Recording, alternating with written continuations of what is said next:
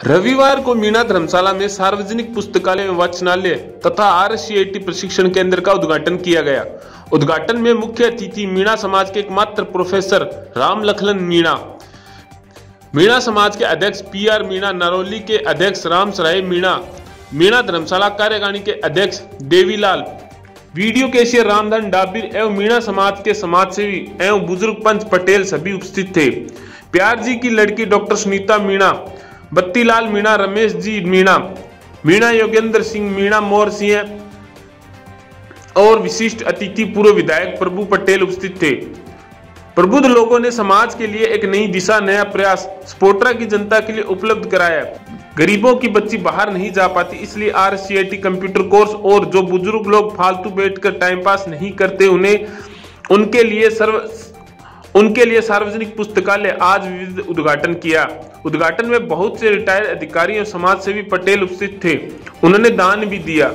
पृथ्वीराज जी ने अपने उद्बोध में कहा कि समाज को तो हम आगे लाना चाहते हैं, लेकिन दूसरे समाज के बच्चों को भी हम छोड़ नहीं सकते।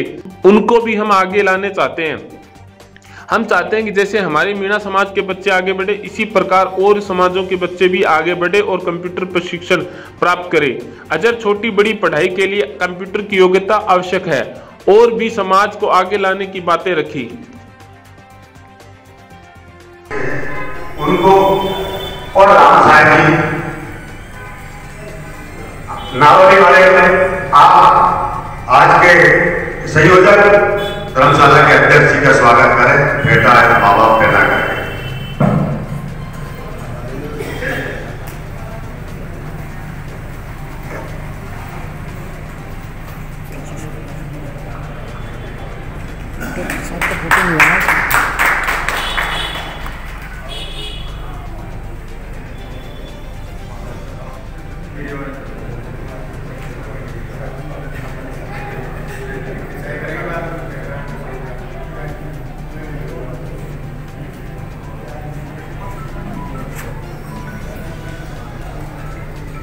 श्री पी आर मीना जी का स्वागत कर रहे हैं।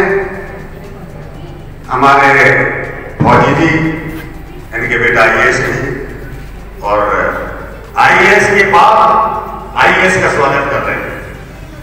हमारे स्टेशन के सबसे सीनियर इंजीनियर भाई राम साहब जी हमारे बीच में, हमारे अध्यक्ष जी का स्वागत कर रहे हैं।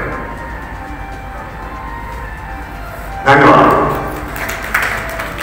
मैं प्यार मीनाजी से अनुरोध करूँगा कि हमारे जो मीडिया साथी, जो मीडिया भाई यहाँ उपस्थित हैं, उनका माला पहनाकर स्वागत करें। हमारे मीडिया के साथी, सभी अजाय एक साथ, भाई देवेंद्र जी, राजस्थान पत्रिका से, विनोद जी, और भास्कर वाले, जो भी मीडिया के साथी